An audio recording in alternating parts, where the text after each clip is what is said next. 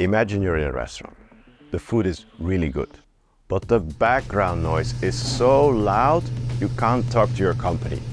Would you choose to go there again? This is the choice marine mammals like these have to make when they decide to catch fish in offshore wind farms in the North Sea. Why? Because the offshore wind farms produce a lot of noise.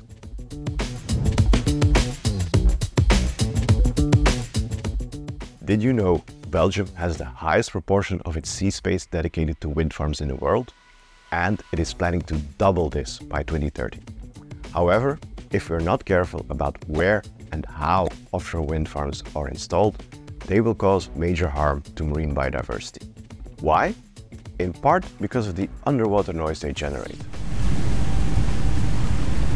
The noise of the wind farms is quite uncomfortable for small dolphin-like animals like these. Their name is harbor porpoises. And yes, they are common in the North Sea throughout the whole year.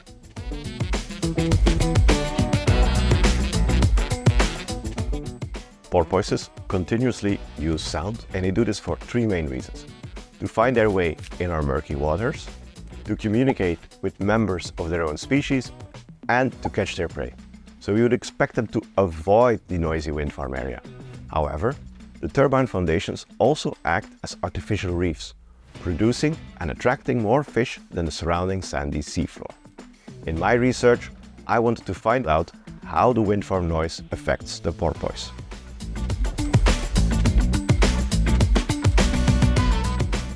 To study this, I use underwater microphones called hydrophones. They allow me to identify where and when the porpoises are catching prey. I measure underwater noise and study their behavior in different wind farms. In this way, we can determine if and when the porpoises are willing to tolerate a noisier environment in exchange for more abundant food.